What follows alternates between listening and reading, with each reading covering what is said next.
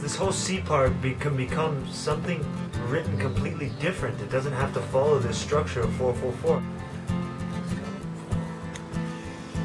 Whoa, what if we just don't rhyme at that part?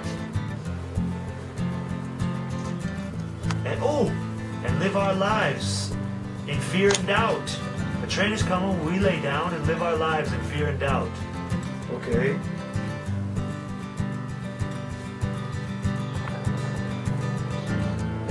So now you have to call for the people to rise up. Exactly.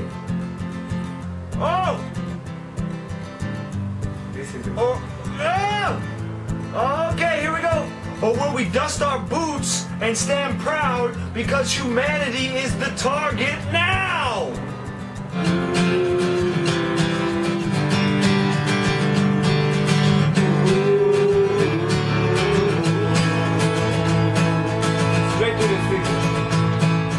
down.